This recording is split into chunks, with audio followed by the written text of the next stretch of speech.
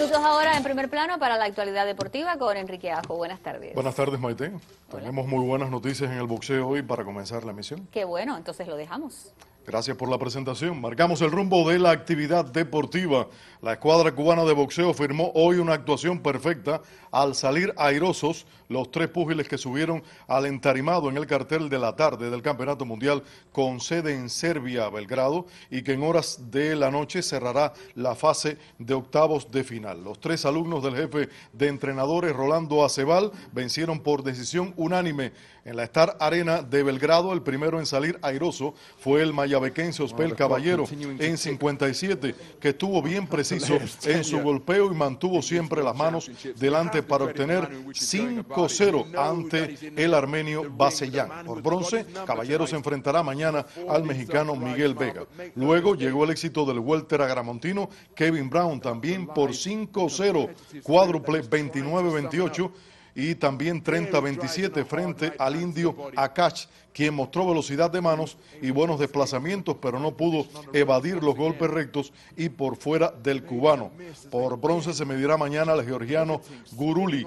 Y la tercera victoria en este cartel de la tarde llegó en los puños del peso mediano camagüeyano, Joinis Hernández, frente al también indio Suming por 5-0 triple 29-28. Esto quiere decir que tres jueces votaron 29-28 y dos votaron con una puntuación de 30-27. Pues tras haber perdido el round inicial, le conectó al asiático un recital de ganchos al mentón y el estómago en los dos rounds finales. Mañana irá por bronce contra el croata Beochis. Con estos tres resultados, Cuba exhibe ahora balance de 15 victorias y dos derrotas y en el cartel de la noche podría llegar a 16 sonrisas pues el bicampeón mundial y titular olímpico Andy Cruz de los 63 medio debe salir airoso sin grandes contratiempos ante el estadounidense Lee. En la jornada anterior el tetracampeón mundial Julio César La Cruz logró su segunda victoria y estará luchando también este martes por medalla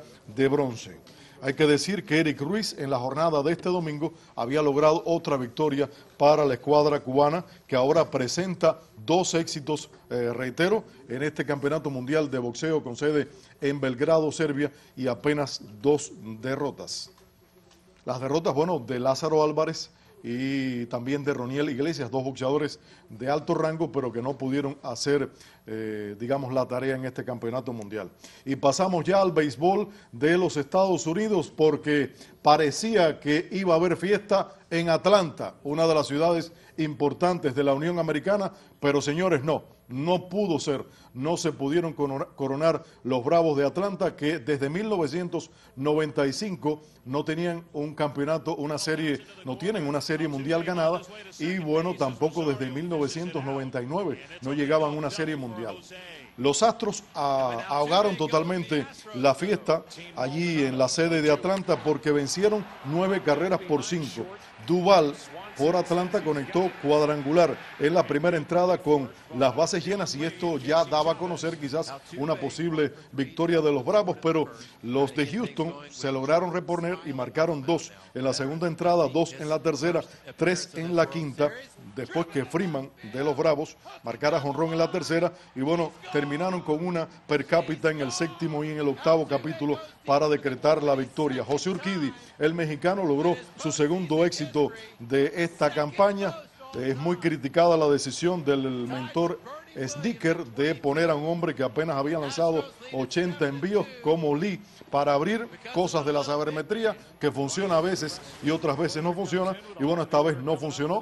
Le conectaron con facilidad y bueno, eh, se le fue la victoria a los Bravos de Atlanta por oh, los Astros. Bueno, Correa de 5-3 con dos carreras impulsadas. Y miren qué cosa, Martín Maldonado el receptor que prácticamente nunca batea por el Houston, impulsó tres anotaciones. Pusieron a Bregman como octavo en la alineación para quitarle un poquito de responsabilidad y remolcó también una.